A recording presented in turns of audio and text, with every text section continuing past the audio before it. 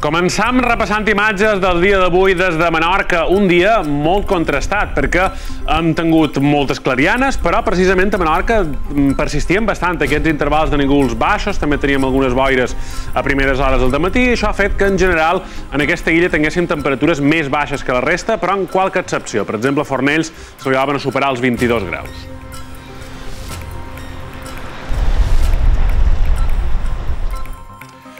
I això que veus ja són imatges de les Pitiuses, de Formentera, platja de mitjorn. Aquí també teníem algunes boires durant el matí. Aquí els teniu, aquests nígols baixos, que després han donat pas a un dia bastant assolellat. De fet, a Formentera hem arribat a superar fins i tot els 23 graus a la Sabina.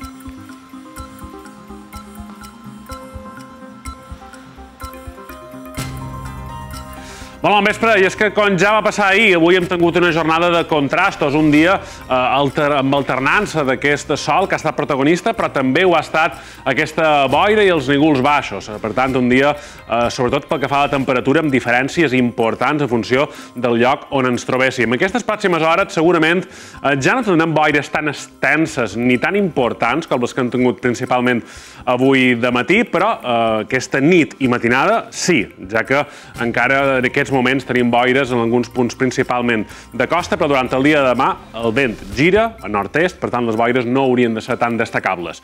Repassam les dades de temperatura màxima que hem tingut durant el dia d'avui perquè s'han superat els 25 graus, han tingut alguns registres realment destacables, com el, com el que veiem al nord de Mallorca, Muro, 26 graus, Artà també 26, cap al ponent d'Eivissa, Sant Antoni, 25, a la Sabina, 23, però després en aquells punts on el vent de component sud o les boires tenien una afectació més destacable i quedàvem en registres més baixos, de 8 a Palma o de 8 a Ciutadella. Demà les temperatures tornaran a ser altes en termes generals i localment podrem tornar a superar els 25 graus. Repassam ara algunes fotografies del dia d'avui. Començam repassant aquest ambient tranquil pel que fa a la mà. De fet, la mà continuarà molt plana i molt plàcida aquestes pròximes hores. També repassàvem aquestes boires que tornaven a aparèixer, sobretot al sud de les illes, durant el cap vespre. De fet, en aquests moments, eh, com vos comentava, tenim algunes boires espesses, principalment al sud també, i més fotografies d'aquesta bonança allà on lluïa el sol, principalment, durant aquesta cap vespre. Demà tindrem alguns intervals de nígols prims. Com veiem en aquestes fotografies, demà seran segurament allò que més notem al cel. Acabat de moment el repàs, des de Cala Blanca, Ciutadella.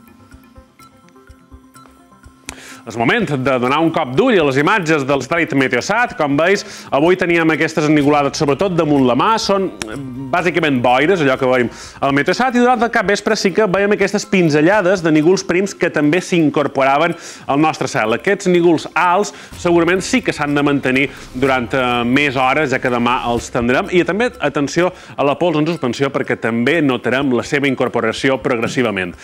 Hem parlat que aquests darrers dies, aquestes darreres setmanes, ha fet bastanta de calor a les illes, però també a les Canàries. De fet, eh, tenim imatges d'un fet eh, que feia 108 anys que no passava.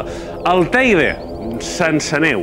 No ha nevat ni un sol dia en tot l'hivern. De fet, som a les portes d'acabar l'hivern astronòmic i aquesta és l'imatge del Teide, sense neu. Eh, ja vos dic que 108 anys feia que això no passava.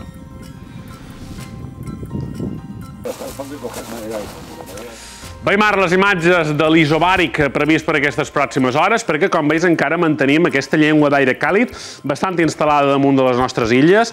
Això genera aquests contrastos importants en la temperatura de la mà, que es continua freda, i, per tant, per això tenim aquestes boires de vecció, sobretot boires d'origen marítim, que insistim, pensam que en vista demà i dimarts ja no seran tan abundants. Podem tenir qualque boira encara, però no seran tan protagonistes. I de moment, sense canvis, com a mínim fins ben entrada la setmana que ve.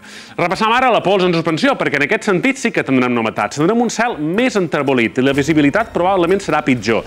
Aquests pròxims dies, perquè com veus tenim aquesta llengua de calitja que s'incorpora progressivament i sobretot entre dimarts i dimecres serà protagonista i s'afegirà als nígols que puguem tenir, generant segurament un ambient més enterbolit i més lleig al cel.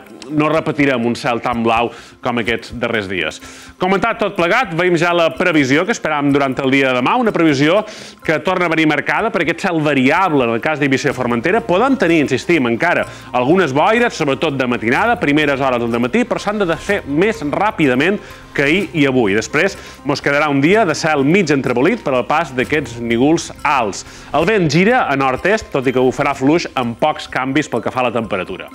En el cas de Mallorca sí que notarem un canvi en la distribució de les temperatures màximes bastant destacable, perquè avui, en vent de component sud, les màximes s'han donat cap a l'interior nord, ho hem, ho hem repassat amb aquests 25-26 de Muro i Artà. En canvi, demà, amb el vent del nord-est, serà cap a la Conca de Palma, Reiguer, també cap al mitjorn, on s'enfilaran més els termòmetres. Avui només teníem 18 graus a Palma, demà podem arribar als 23-24, el canvi serà notable en aquest sentit. El vent, eh, com us comentava, ho farà del nord-est, i pel que fa a l'estat del cel, també tindrem algunes boires a primeres hores, però pensam que no tan extenses com, com avui. Després, cel eh, també enternyinat de nígols prims. I a Menorca també esperam aquesta possible afectació d'algunes boires durant aquesta pròxima matinada. Després eh, també tindrem un cel mig entrebolit, però pensam que en el cas de Menorca podem veure una miqueta més el sol durant el dia de demà perquè no acabaran d'arribar tan clarament aquestes, eh, aquests intervals de nígols alts. El vent també bufarà a fluix amb una situació marítima a totes les illes molt tranquil·la. Pel que fa a dimarts, mantindrem més o manco aquesta mateixa situació de temps repetitiu, temps encara dominat per aquest anticicló, però en vista de, de dimarts, com hem comentat, tindrem concentracions més elevades de calitja, de pols en suspensió. Per tant, ens quedarà un ambient més, més grisenc, més entrebolit. Tindrem alguns intervals també de nígols prims, en principi no esperant precipitació, per tant, no hauríem de parlar de pluja de fang. Les temperatures màximes poden caure qualque grau, tot i això l'ambient encara continuarà càlid, amb un vent molt fluix variable i la mà encara molt tranquil·la. I pel que fa a l'avanç de previsió, continuem sense veure canvis significatius pel que fa a l'estat del cel. Segurament amb aquest passadís de vent de llevant que sí que iniciaríem, podem trobar nígols una miqueta més abundants cap a la vessant sud de les illes. En, aquesta, en aquests indrets el vent pot bufar una miqueta més d'intensitat, mantenint unes temperatures estables, per tant, bastant per damunt del que tocaria per aquesta època de l'any.